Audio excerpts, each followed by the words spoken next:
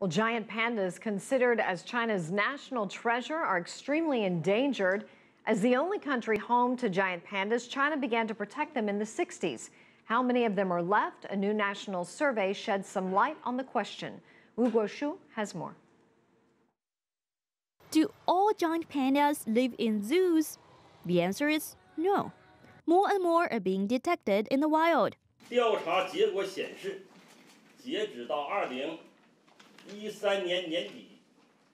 the survey showed that by the end of 2013, the population of wild giant pandas across the country reached 1,864, an increase of 16.8% from the last survey 10 years ago. The population of captive giant pandas is 375. China has conducted its fourth national survey of giant pandas. Wild giant pandas can only be found in Shaanxi, Gansu, and Sichuan provinces, with over 70% in Sichuan. The species' steady increase in numbers has been attributed to legislation, state funded protection, and research programs. According to the survey, though their numbers are on the rise, one third of the wild giant pandas, or about 600, are still not in nature reserves. They're broken up into small groups by power stations, roads, high voltage power lines, all of which seriously threaten their lives and reproduction. Authorities have vowed tough measures to protect the species.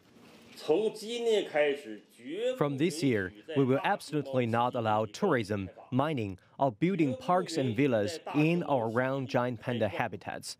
We will expand nature reserves as much as possible and channel the 33 isolated groups in three or five years.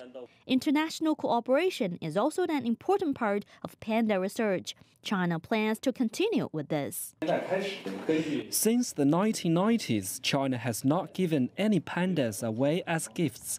We selected foreign rules to cooperate in research with us. Currently, 42 panda adults and cubs are living abroad in 12 countries.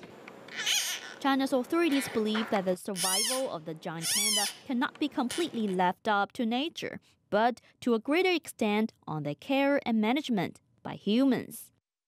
胡国修，CCTV，北京。